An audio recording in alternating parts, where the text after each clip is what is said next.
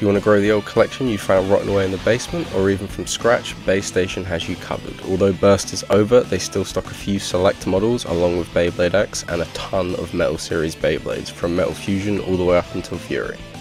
So if you're looking for a trusted and reliable source for Beyblades, check out Beystation.com and use code SOLICAL for a discount at checkout.